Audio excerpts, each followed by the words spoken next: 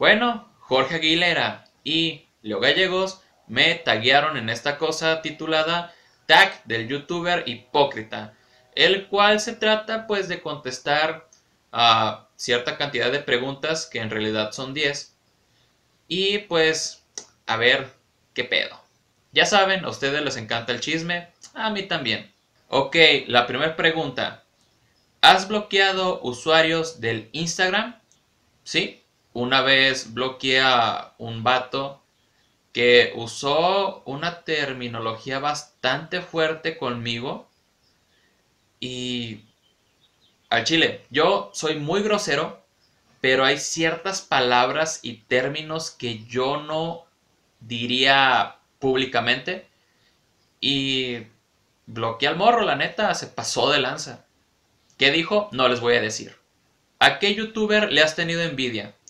Pues si me hubieran hecho esa pregunta hace algunos meses, sí lo hubiera contestado bien clarito, pero me di cuenta de una cosa, cada quien tiene lo que se merece y si alguien tiene mejores números que yo, pues es porque le ha chingado un montón y que a toda madre.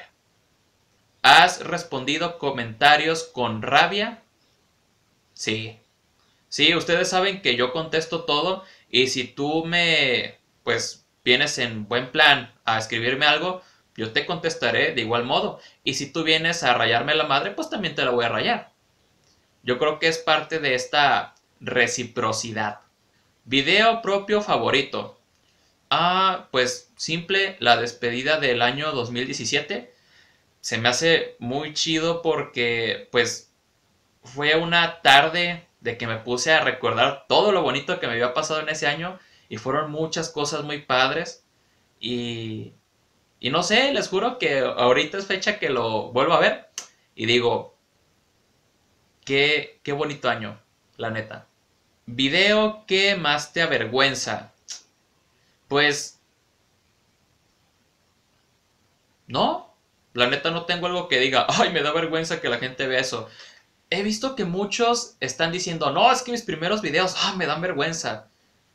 Pues a mí no me dan vergüenza mis primeros videos, pero sí me dan como, como de, ah, qué chido, has mejorado muchas cosas y eso es bueno. Y como vergüenza, vergüenza, no, la neta no. Tengo un, un en el ojo y me está molestando. ¿Saben qué me avergüenza? Me acabo de dar cuenta que mi cámara está tintineando. Hazte más para. Creo que ya. ¿Has tenido peleas con otros youtubers? Ah, sí, pero peleas como tales no. Simplemente me puse a, digamos, desenmascarar un fraude. Que ni tanto, porque más bien era un cotorreo que teníamos entre la banda que tira rollo en el Facebook. Y pues esta persona bloqueó a medio mundo, entre ellos a mí. Y no, no voy a decir quién, no voy a hacer publicidad de gratis. Si tuvieras control Z, ¿qué cambiarías de tu canal? Mi cámara y mi micrófono. Tres youtubers de los que te hayas inspirado o copiado. Pues el primero, siempre lo he dicho, es Efraín Astorga. Él fue el primer tutorial de YouTube que vi porque pues se subían videos, pero todos eran covers y tutoriales, tutoriales bien hechos. El primero que vi fue el de Pícame Tarántula, claro. Yo me lo aprendí con un tutorial, no tenía tanto oído en ese tiempo. Y pues le copié el modelo de enseñar de, ah, traste tal, traste tal. Vean, vean el video, les voy a dejar el link y se van a dar cuenta que, que pues es mi modelo de tutoriales el de él. Y de hecho a la fecha sigo teniendo un poco de contacto con él. Sigan su página, ahorita su proyecto se llama Caín y Efraín. Otra persona de la que me inspiré, obviamente, el señor Elías Nápoles, eh, ya desaparecido de YouTube. Pero los de la vieja escuela sabrán que pues él subía covers de, Bajo Quinto y lo subía tal cual. No le metía más, no le metía de menos y hacía muchas canciones de, Intocable, este, de Duelo, de La Firma y, y qué chingón. La neta, mis respetos donde quiera que esté el señor y ojalá y algún día regrese nada más para ver otra vez sus covers. Y el último, el Big Show. Ustedes dirán, él toca acordeón, ¿cómo te inspiraste de él? Resulta que antes mi, papá veía tutoriales de acordeón del Big Show. Y pues hagan de cuenta que, este, ya ven que Big Show siempre saca chalucita. Y mi papá me decía, tú que estás grabando tutoriales, o sea, en aquellos años, tú que estás grabando tutoriales, ¿por qué no este, saca cerveza? Y yo así de, pues no tomo. Se saca otra cosa. Digo, pues, no sé, comida. Y de ahí nace la idea de sacar comida en los videos. ¿Le has dado dislikes a videos? Pues sí, soy humano.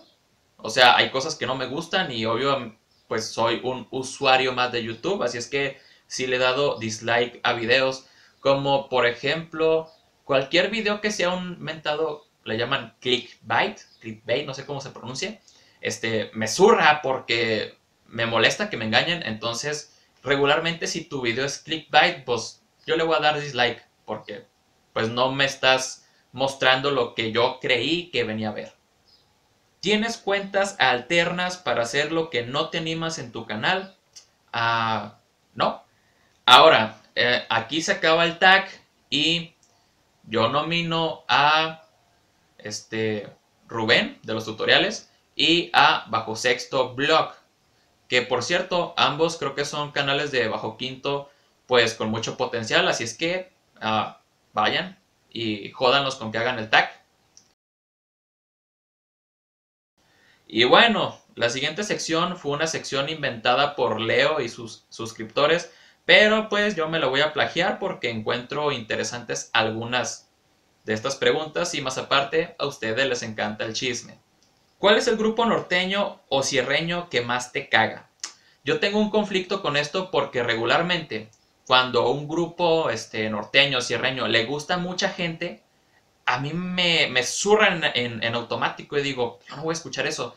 Pero después me calmo y digo, a ver, vamos a escuchar esto con, con calma, con detenimiento, hay que ponerle atención y me enamoro de la música de aquellos grupos. ¿A qué artista del género jamás le harías una entrevista? Creo que contestar esta pregunta sería idiota, porque yo tengo esa mala suerte de que siempre que digo, yo nunca voy a hacer esto, ahí acabo de pendejo haciendo lo que sea. Entonces creo que no hacer una entrevista a alguien sería como negarse cierta oportunidad de expansión, crecimiento. Así es que bueno, ¿a quién de los que has entrevistado se ha portado mamón o se ha sentido incómodo. no es que se haya portado mamón, pero este, hace unos años me tocó conocer a los de Enigma Norteño, gracias a, al Willy, al del Bajo Quinto, y obviamente me la arrimé a este, a Kirri, y pues creo, creo que lo puse bastante incómodo, porque según yo iba a grabar un video donde yo lo entrevistaba a él, y le preguntaba sobre su bajo quinto. Ya ven que tiene una cabeza así bien particular. Este, le preguntaba de su bajo quinto, pero yo estaba tan nervioso que, que no lo dejaba ni, ni acabar las preguntas y sí noté que en un momento, bueno, ya que vi el video, sí noté como que lo incomodé y una disculpa, Kirri, la neta estaba nervioso. Y luego más aparte comenté la, la, la, la pendejada de yo estar grabando con mi, con mi celular y decirle, grábame para, para tocarme yo. Y yo dije, espérate, o sea, lo, lo usaste de tripié. Y fue como, qué incómodo. A la fecha, a la fecha sigo pues con una buena relación con él. Nos hablamos ahí por el Instagram de vez en cuando y pues, pues bueno, síganos en sus redes sociales. Este, esta pregunta no la entendí mucho, pero a lo que entendí si utilizaran un pedazo de un vídeo tuyo en otro video, ¿lo tumbarías? Este, si fuera un pedacillo parcial, algo como para, no sé, ponerme de ejemplo, estaría encantado, orgulloso. Pero ya si de plano se tumban todo el video y lo suben, si es así como de, ah, ¿qué onda? No, no me creo capaz de tumbar algo, la verdad. Yo pienso que más bien hablaría con la persona que hizo la cuenta y a ver qué onda, qué, qué rollo. Pero así como decir, vamos a tumbar algo, pues no, porque pues sería como tirarme una pedrada, ¿no? Porque yo me la paso, pues el hecho de hacer covers, de subir tutoriales de canciones que no son mías, es, es casi lo mismo. Así es que, pues no, no creo tumbar algo. ¿Con qué youtuber te han dado ganas de partirte la madre? Pues la neta, uno en específico no tengo, pero sí me dan ganas cuando veo que, valga la redundancia, son hipócritas. ¿En qué aspecto? En que tú ves cuando alguien finge la actitud o el modo de ser. Ahí sí te dan ganas de tirarle un chingadazo a la persona. Porque pues está muy, está muy cacas que intente ser algo que no. Por ejemplo, el Magallanes y Oscar pues son pues la misma cosa. Nada más que el Magallanes habla más fuerte para que se oiga en el micrófono. ¿Con qué youtuber te gustaría grabar? Ok, si fuera de, de lo que yo hago, así como de tutoriales, últimamente lo he seguido en sus redes y he visto lo que hace y se me hace interesante, sería acordeonísticos. Y si fuera fuera de lo que yo hago, me gustaría grabar con algún youtuber que tenga algún canal de cocina. Estaría chingón grabar algo así como, como cocinando o por lo menos comiéndome lo que cocinó alguien más. Y me gustaría, si alguien tiene este, un canal de cocina o algo así y se puede hacer algo, pues estaría chido hacerlo, la neta. ¿Qué youtuber crees que te copia contenido? Ah, copia de contenido no creo porque pues ahora sí que la música es universal y cada quien tiene su punto de vista. Así es que si por ejemplo yo saco un tutorial y luego otra persona saca ese mismo tutorial y otra sí, no voy a decir que me copia porque pues la música es universal, repito. ¿A qué youtuber del regional mexicano le cerrarías el canal? A ninguno. De por sí somos bien poquitos. ¿Has subido algún video por dinero?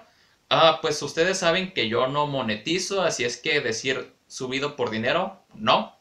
Ahora, he subido muchas cosas debido a los patrocinios, pero pues los patrocinios son de cosas dadas, no es como que me den un dinero.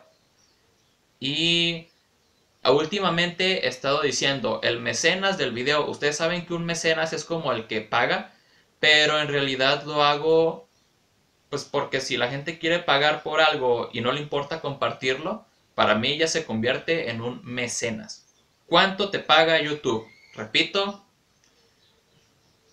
me zurra cuando ese pájaro hace ruidos, pero ya me lo acabamos. Este, ¿cuánto te paga YouTube? Ah, pues Nada. Es más, ¿saben qué? Déjenme meto al, al Analytics para demostrárselo ahorita de una vez. Porque hay gente que dice, no, es que, es que no, ganas un chingo.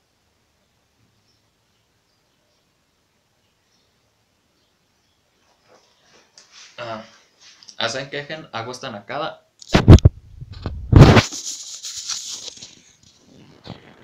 Si alcanzan a percibir que aquí dice Cero.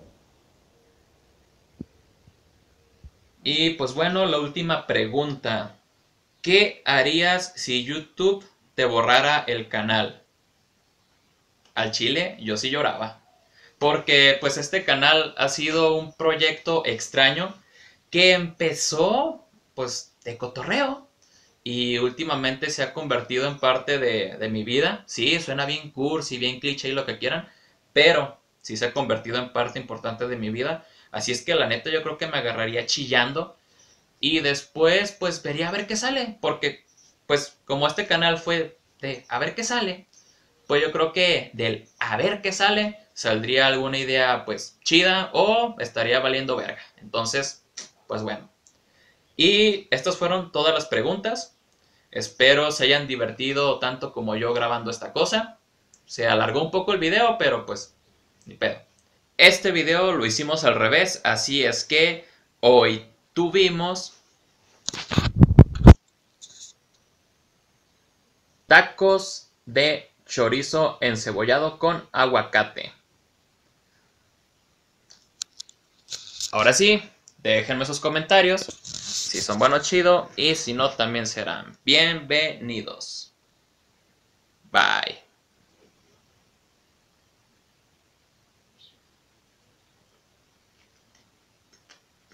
Adiós.